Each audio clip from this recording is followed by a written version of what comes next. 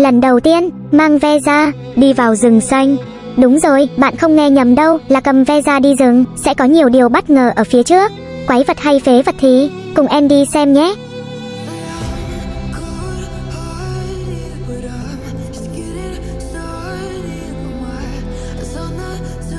Đồng đội không tin tưởng.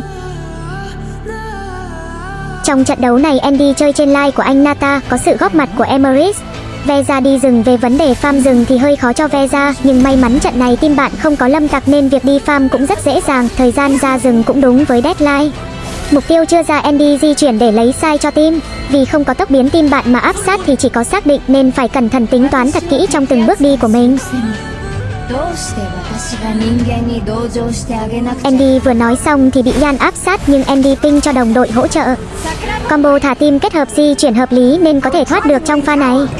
Vì chơi chung với anh Nata cũng khá lâu nên việc phối hợp mấy pha như này cũng khá là hiểu ý kẻ múa người tung, cân cả team bạn.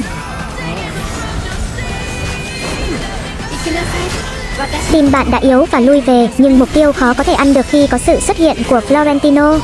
Andy thấy tình hình không được khả thi cho lắm, nên đã chuyển mục tiêu từ rồng sang ăn Caesar.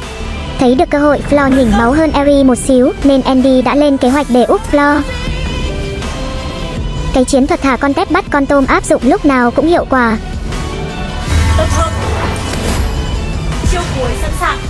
Ping cho Eri ra để bẫy Florentino. Con tôm đã bị dính bẫy.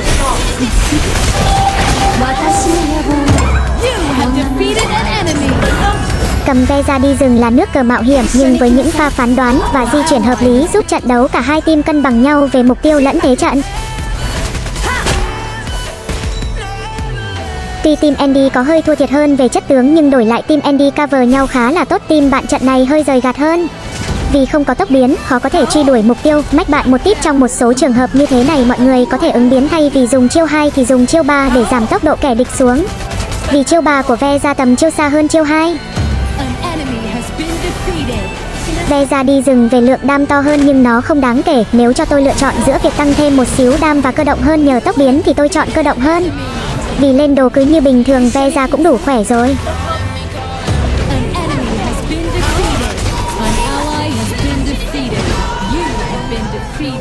Đỉnh điểm của trận đấu sẽ rơi vào giai đoạn cuối game. Khi team bạn đã có đủ đồ, thì team Andy muốn win mà cũng không thể nào win được trận đấu gây cắn nhưng không kém phần hấp dẫn khi kéo dài đến phút thứ 30.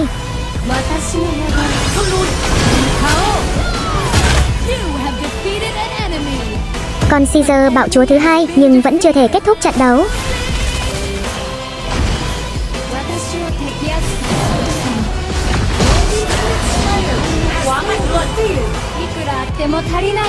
An ally has been defeated. You have defeated an enemy.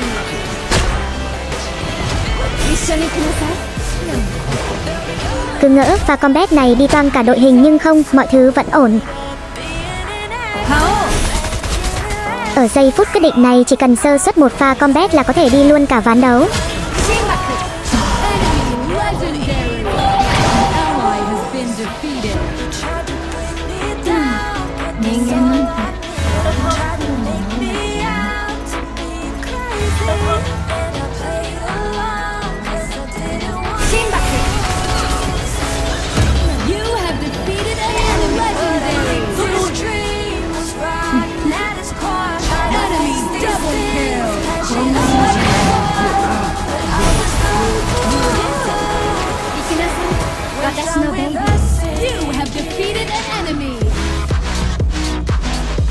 Còn Caesar bạo chúa thứ ba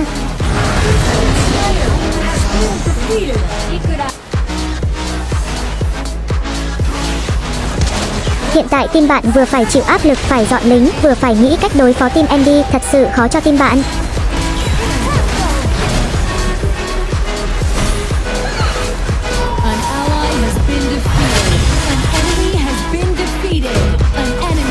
Cảm ơn mọi người đã xem, ai chưa follow tặng mình một follow nhé, cảm ơn ạ.